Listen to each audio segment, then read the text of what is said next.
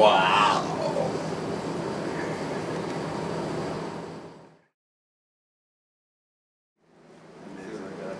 Just a small town girl. you look just like him with that. Living in a lonely world. Took the midnight train going down the Wow. And wow.